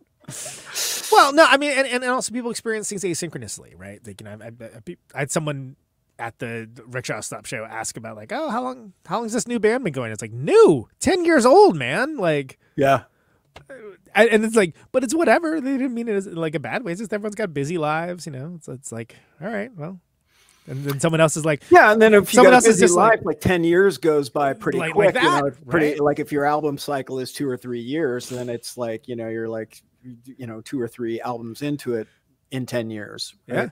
yeah, yeah, exactly. Just uh, fourth one is uh, coming out this fall. cool. I love But- the split, man. Uh, it's, thank you very much. That, So that was good. For me. That was a, a callback to the great grand tradition of like the, the the split records of the '90s and stuff, where it's like, yeah, they cover one of the bands on the other side, and, and Oh, like, that's it's great. A whole and like there's a collab song, and like, all these like things that only nerds like me care about. I'm like, we're gonna Yeah. do all of those things, Yeah, yeah. and it's gonna be our Vans on the cover because that was our first bonding moment. We had the same year, model, and make. it's gonna be our Vans on the cover. That was. That was from Daisy, but uh, yeah, Oh, that's I- I, was like, great. That could not possibly be any more niche and more my speed. love it. But it's also yeah, people discover things in their own time, right? And and there's nothing wrong with that. And and that is the promise of all this connection that we have. That like someone can hear victim's family or the freak accident and, be, and instead of being like, oh yeah, that record came out 20 years ago, they're experiencing it now. Yeah. They're experiencing it next to like idols and next to like Billie Eilish. I don't know what people are listening to, but like, like whatever it is, they're and like it, you know, and it really is just a matter of you know, there's an opportunity again. Everything being at the same volume is cacophonous. Yeah. that's what we are, and that's where we're at. And ultimately, people can smell BS usually. Usually, so it allows opportunity also for things that didn't get their day in the sun Right. And, and that's wonderful. You know, that that's the good side of things, where it's not just like record crate diggers that are like, you know, the most obscure, like, when do you ever leave your basement? Kind of like guys, let's be clear, guys, uh, talking to, each other in like some private space. It's everybody gets a chance to be part of the party. And that's that's wonderful. And I, I try to, you know, with this show, I try my best to like put on people that people should know, as well as, as folks that people definitely do know. And I don't know. I- Is it successful? Maybe. I don't know. I'm, doing it either way. You know, it's the same thing with the music. Yeah. Uh, all right, so let, let's let's we, we we went through all the way around. Now we're, now we're back to where we started with the the, the split with Nasalrod. Split. Yeah. Right. That's great. Love it. So, victim's family back and doing stuff. How long of a gestation period was was the uh, was the split? How long did it till fruition till inception? So we recorded basics in 2022, Oh, that's not bad. I guess. Yeah. like at the end, like um, Thanksgiving.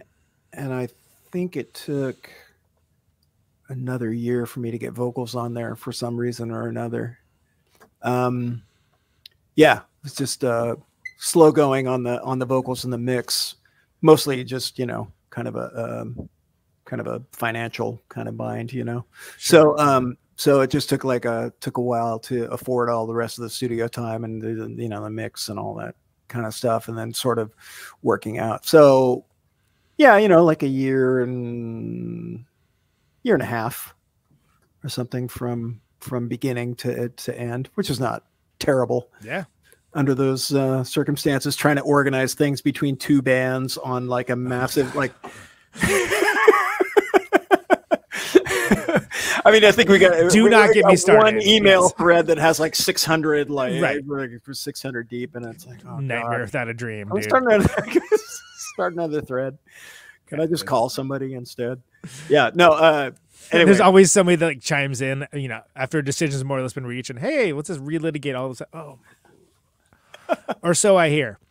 Uh, yeah, like it's it, it, it's a labor of love, right? I mean, because these are again two bands with very distinct and and unique sounds. You know, so it's like there, there's a urgency to it, but it's not like you can tell which band is which by the Yeah. same token, right? I mean, and it's um, you know, choice songs from both bands. Like it isn't like somebody's leftovers yeah, being no, reheated or anything. yeah, no, no. I uh, love the tunes. I mean, I feel like I'd have liked the opportunity to play more of them live beforehand. I mean, I I really Get it burned in. yeah, just get get them really burned in. You know, like I'm I am really liking that with the new freak accident stuff. We did get a chance to play a few of these uh, live, and uh, some of them were we'd been working on for like some quite some time.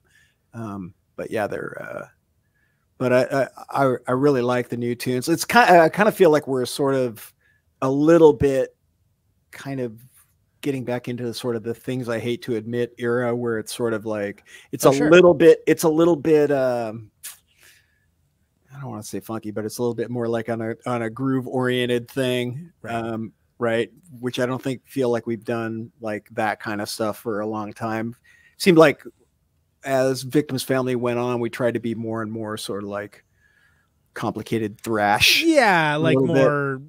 Mechanized is the wrong word, but more like kind of propulsive. Yeah, yeah, anything yeah, else. exactly. So so this feels like a little bit like going back uh into something that we hadn't really done for a while. So there's a few of those sort of Yeah. things, which feels kind of cool. This is a gear that we do that we've been doing from the beginning. Yeah, sure. know? Yeah, yeah, Right. yeah. And it's sort of like it's been long enough that it's kind of new again. Yeah, you know, you can find some some uh some joy that's in right. it. some Everything value. old is new again, Right, right. So I including me. yeah, exactly. so says my chiropractor. Kidding. Yeah. Anyway, uh, yeah. So, but it, it- again, there there's still kind of an urgency to. I love the the artwork. Um, is killer on this. Who- Oh yeah, it that does Brian. uh, The guy uh, is called Brian Nothing. Yeah. Uh, he's an old friend of ours. We met from Dallas. He lives in Philadelphia now. Um, and uh, yeah, just painter, just, just great stuff. You know. Well, I want to be I want to be mindful of your time. I've certainly gone through all of it, but something I've I've been doing with uh, uh I don't know for the last few decades has been like uh, when there's a new record, like kind of go through each of the songs and you can like say a little something about Great. each one of them. Are you, Yeah. doing that? Okay, Yeah, uh, yeah sure. I guess I could have like prepared Wish for that. ahead wish I had a record in front of me. Uh, that's fine. I'll throw it up on the screen. So let me let me do, let me do that. So first person shooter is the first one up. So Yeah. let's let's do this. Uh, I like this view better. There we go. This is this is where the audio listeners like, what's going on now? What are they doing? All right, so first person shooter is the first one up. Yeah. So uh, you know, it's a it's a piece that I kind of had around for a while, like starting with a double double time sort of thrash thing, and then it kind of Yeah. goes into the aforementioned sort of groove uh, deal, and the the lyrics I just kind of came up spontaneously after the shooting at the top supermarket in Buffalo. You know, it's like Yeah. man i yeah you know like i mean lyrically my whole life like everything has been sort of tongue, tongue in cheek and very satirical and stuff and like you know i just felt like this is one of these moments where it's like just leave all that shit aside and really just you know it's to me that song is just saying just like what the fuck you know Yeah, yeah, yeah. i just yeah Yeah, it's What's the, horrible uh, anyway yeah, I mean, I always think that. about that onion, um, the, the the onion shooting article. No way to prevent this, says Nation. says only says only nation where this regularly happens. Yeah, yeah. And they just keep running it with like an updated photo, and it's like, oh, it's the like the harshest of tokes. But Yeah, yeah. So anyway, you know, like um yeah, I don't know what else you can really say about that one, right? You know. yeah, pretty straightforward. It's it's it's probably the more one of the more confrontational, you know, Yeah. li- literal things I've ever written. So, Well, it's hard not to when you have something like that, right? I mean, Yeah, it's- it's- yeah. I mean, you know, nuance clearly doesn't work. Well, I mean- mean, I think it's I think it's our first album since the death of irony, so, you know. Yeah. R.I.P. to R.I.P. to a legend. So Uh, how about "Stop a Beating Heart"? How about that one? Oh, so that's a Larry tune, um, you know, and uh, very well crafted, sort of like a, uh, oh man, it's, it's a great song. Can't really, not really sure what he's. I mean, I I sing the lyrics and I, I kind of know what they're about, but I don't. Big idea. it's a it's about thoughts and prayers, you know. Um, uh, but you know, it's got it's got a. It really rocks for a song that's mostly in five four. Fantastic. Yeah. No notes. No notes. Uh, how about trash? Trash is a uh, yeah, trash is a thing. Like basically everything I own is one day going to end up in the trash, and uh, so it's just basically uh, Heartwarming. Yeah, yeah, Yeah. yeah. There's a lot of heartwarming stuff here. Uh, yeah, uh, yeah. It's kind of a, it's kind of just a, almost like a garagey rocker. Yeah. you know, Pretty straightforward, straightforward rocker. for y'all. Yeah. Yeah, I mean, it's no Ramones. Don't get me wrong, but no, no. too many guitar solos. Uh, uncertainty is um, uncertainty is kind of a uh, yeah. Well, basically, it's yeah, it's basically talking about you know when you're talking to someone and they're like, I know something about that. You know, yeah, yeah. Uh, it never Right, so- happens. yeah, Yeah. Ralph splaining. You know. so, uh, and then I want to see the sun. Uh, you know, it's like that's that one's sort of uh, it's kind of difficult to to really. I don't know. It's kind of interpretive, really. It's more sort of just like I think it's kind of like just talking about. Uh, I really have no idea. I mean, at some point, I, at some point, I kind of like tar- start talking about conspiracy theories and how people Sure. just like basically believe just bullshit. You know, like objective uh, facts are just you know gone. You know, Almost because it's fun. yeah, It's like Yeah. It's like because that's that's who I am. Like you just believe crazy stuff, huh? Yep. Yeah. That's who I Yeah. am. Okay. Well, apparently there's it's, it's a growing pastime. It's a people are really into it. It's like Yeah. objective facts. What's that? Where did you get that information? Ay, ay, ay. Uh, anyway, so uh, and so those are the Victims Family sides. Uh, of course, if you have anything to say on any of the Nasalrod stuff, that would be fantastic. But you don't. Oh, to. they're awesome. yeah, the- They're great. I love. Uh, yeah, the Makers, is very very ripping song, man. Yeah. really, man, love all their stuff. Uh, can people people can still get the digital? People can still get the the vinyl, right? Yeah, so it's pre-order, but it's actually out Oh, tomorrow. tomorrow. Uh, Yeah, as, at the right. time of this recording. Exactly. That's So. March That's right. I twenty f- March twenty second. It's Knew live. there was some reason why we're doing it today, and now I just remembered why. It just kind of happened that way, which actually turned Yeah, out, except it was turned out to to be great. week. And then you asked me about last week, and they're like, "Oh, I'm uh, sure, yeah." And then I wrote back, "I'm like, no, actually, I forgot I have a show." So yeah, yeah, yeah, yeah. No, that's that's uh. It's, it's, it's, the quote flipper. It's the way of the world. At least at this show, it is. pretty much, lately. Uh, so cool. Yeah, no, it's, it's a great record. That's uh that that's in the modern Meatspace. Victim Family Nasalrod Split. I'll, I'll put a link to it in the in the show notes and everything, so folks can go get it. Any release tours or shows or anything uh, happening? yeah. So we're sort of. Uh, Tim's kind of dealing with an, a shoulder injury right now, so we're trying to right. figure out how he's getting through that. So I, I know that uh, Nasalrod is doing some shows in support of the uh, of the the record. They have a they have a release show coming up, which I should have that information in front of Nice. me, but I don't. but they're playing Portland in in support of the uh, of the new release, and um, we're going to be having a talk about you know what our plans are for, but we're going to try and do something for the rest of this year. But Fit something in.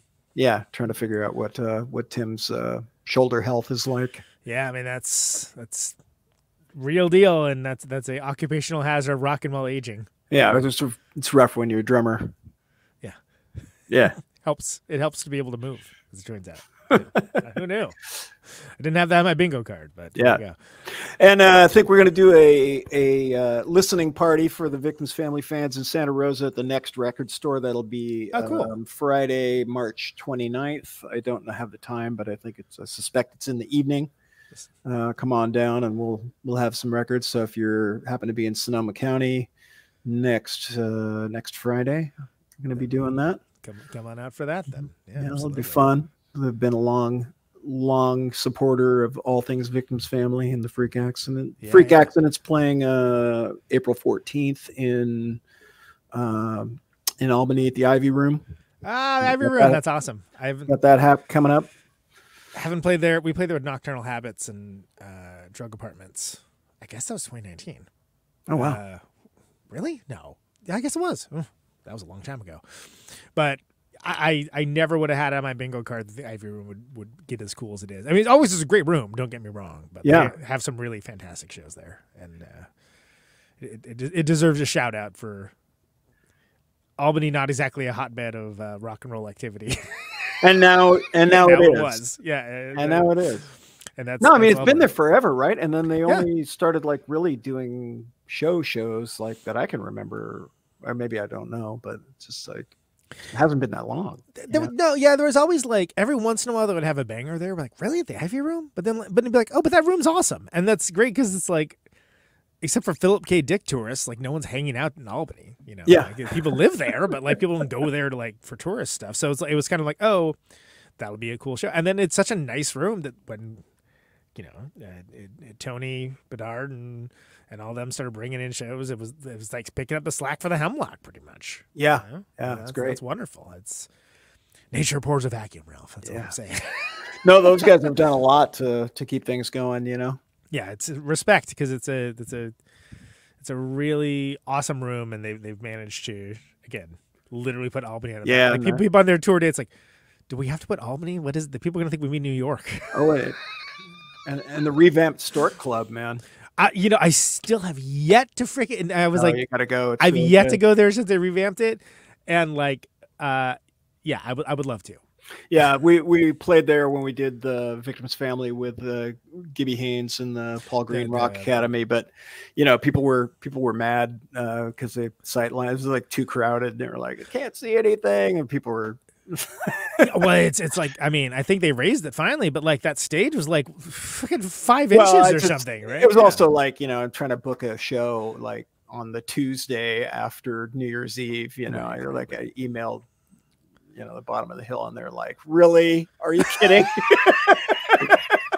get back to some 2028. So, yeah. no, they're like, you know, yeah, of course we want to do Gibby Haynes, but not on a fucking Tuesday after New Year's Eve. yeah, yeah.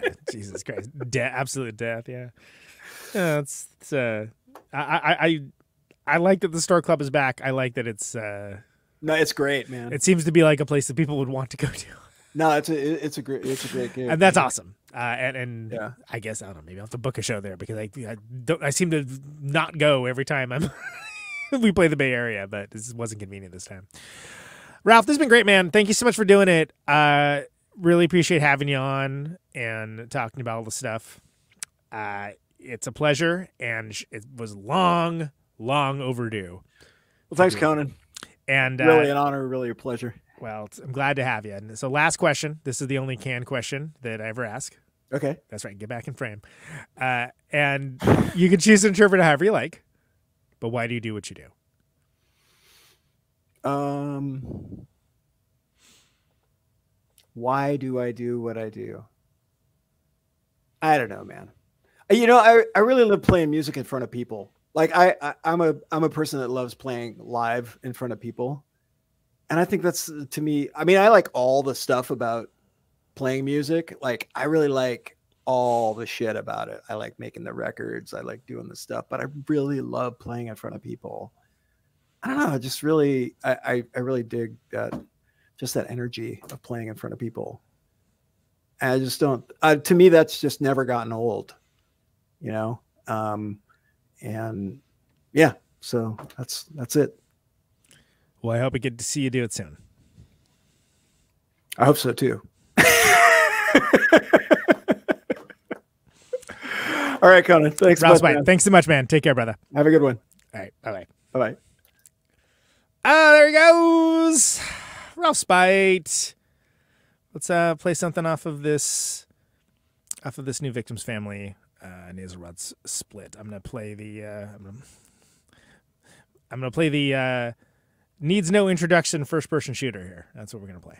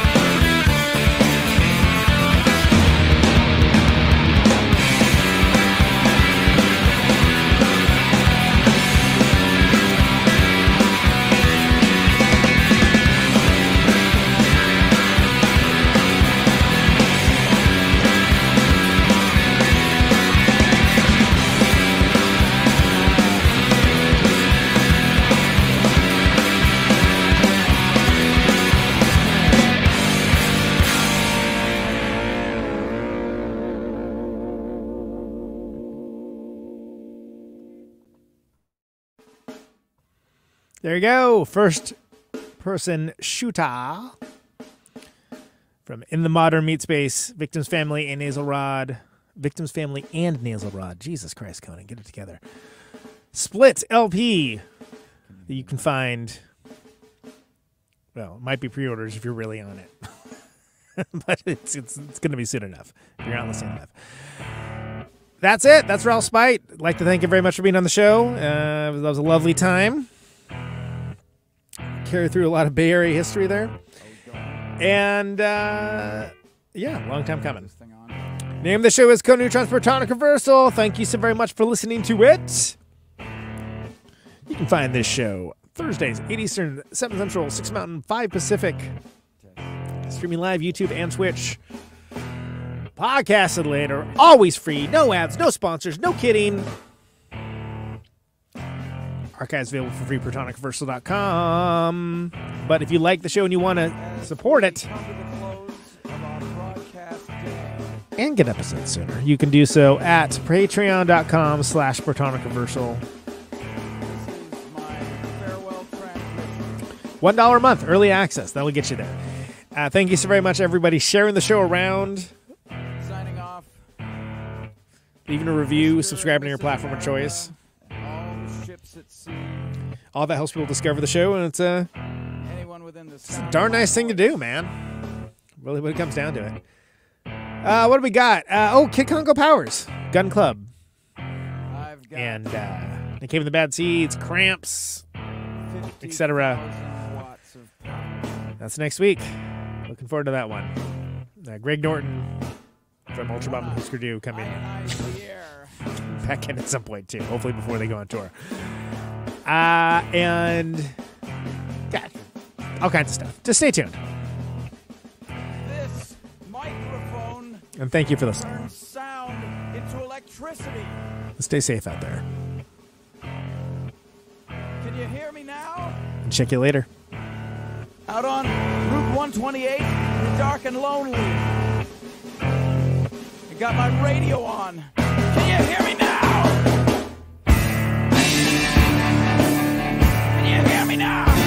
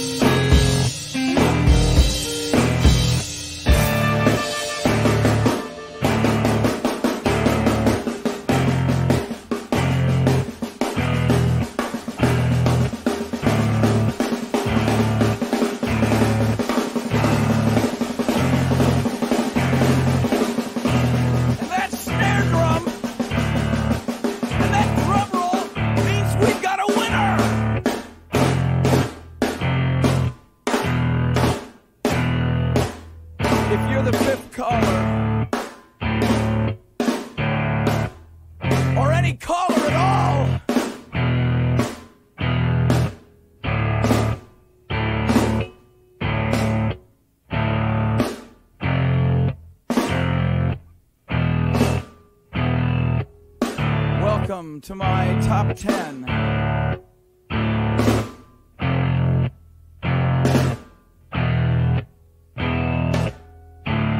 I'd like to thank our sponsor. But we haven't got a sponsor. Not if you were the last man on earth. She was prepared to prove it.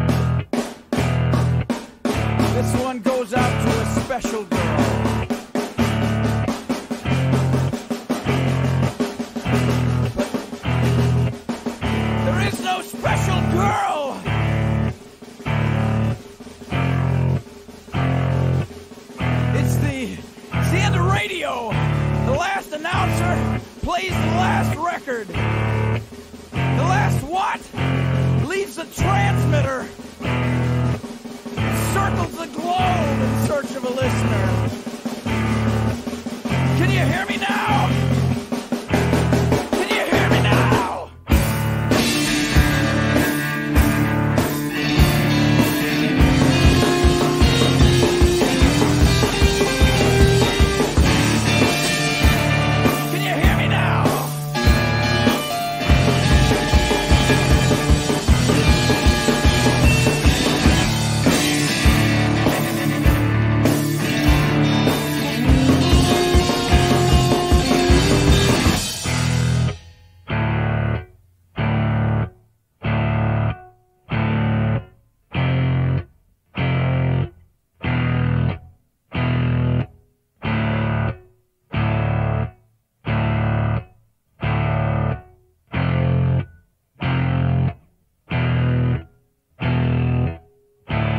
Really broadcasting if there's no one there to receive? It's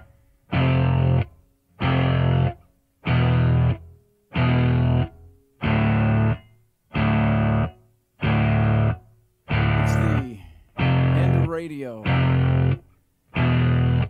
As we come to the close of our broadcast day.